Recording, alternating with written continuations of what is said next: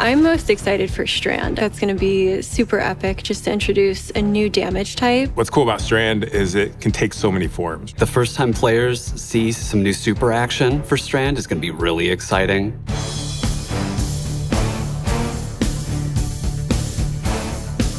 Strand is this network of metaphysical connection, objects, people, past, present, future. We call it the weave. Anytime a guardian needs to use strand, revealing all the strands around them, reaching in, weaving weapons. Each of the supers kind of reflect that idea, weaving into needles, weaving it into a giant rope dart, weaving it into claws, revealing it as these green strands in the world. Green was definitely like something that we were excited about because it stood apart from other damage types. It kind of gave it like its own visual language. World strands are the things that are like more organic, flowing. It almost looks like a curtain of strands that flicker in and out of reality. The idea of like the strings, like the strands lighting up the world. I think that was when everything kind of started to come together and like that starts to then influence what's the design? What is the VFX going to look like? What does audio sound like for it? We really wanted to visually show that there's some sort of order in the universe or some sort of chaos. But when players take it in, they're weaving these weapons of destruction.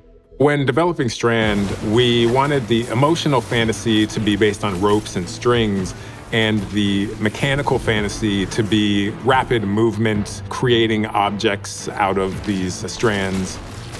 When you are in each of your super states, you have these strand elements that are on you that are connected from above. Things that you create are constantly revealing this world of strands around you. Threaded Spike, the hunter's melee ability, will bounce between enemies until it can't find anymore, and then it will come back to me. If I press the melee button again, as it comes back to me, I will catch it, and that gives me melee energy for the next time I want to use it. As a VFX artist, we came up with this idea of when it goes out, let's put a bunch of additional communication on it to make it look more dangerous. And when it comes back, we don't add that stuff and it's simpler and then it feels less dangerous and then that's when we know that we we did it right when it, when you're not even questioning it but getting to that point is definitely a challenge and each one of the strand abilities I, I feel like have these little twists in there it's so important that you can tell what it is at a moment's notice. And then as we go through the process, there's revisions and refining it based off of play tests. Sometimes there are small visual changes. Sometimes it's like overall big differences. And I think a good example is the Titan uh, Super. We had this really cool swipe attack that was severing enemies, but it was hard to chase those enemies down. We need a long range attack for the Titan that is going to enable us to get close to the melee attack and attack them. And Suspend was a natural choice for that.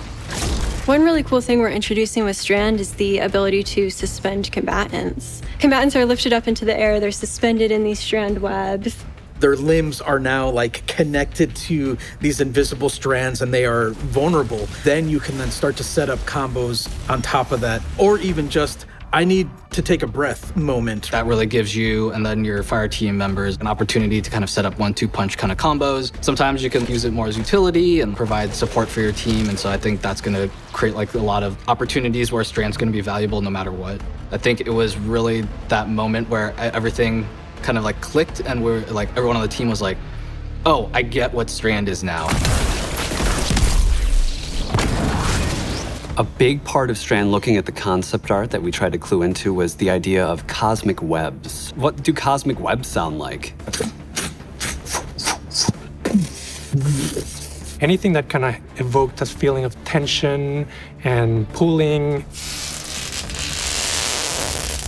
Things like recording as rubbing on plastics, leather gloves. We would string out a big sheet of plastic wrap and running our fingers along it in really weird performative ways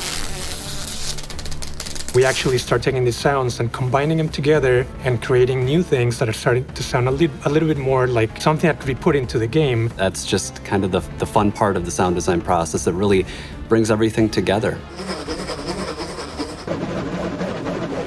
Some wacky things have happened as we've developed strands, interactions we didn't necessarily anticipate. When you pick up a tangle and you throw it, You can grapple to that tangle, and you're sailing through the air after this tangle, which can then hit an enemy, blow them up, and then you just swoop in and follow up. Designers will find these bugs that will come back and be like, oh, actually, you can do this. And you're like, let's double down on that, you know? let's make that bug a feature. One of the coolest things about the way that that we work at Bungie is we will take someone's awesome idea and through playtesting, through iteration, we can keep tweaking it and make the idea better. And then as we start to add the animation support, the VFX support, the audio support, that's when it really starts to come to life. All of that goes into making Strand this quality new damage type. You can imagine how it could work on paper, but then when we actually have the final result, wow, this is gonna be something special. And feels like nothing else I've ever played before. As players experiment and figure out all the weird things they can do, they're gonna get even more excited. Oh yeah, this is cool. Like, like this is it. Once it goes live, then it's like, all right, let, let, let's see where players take it, and that's actually really exciting.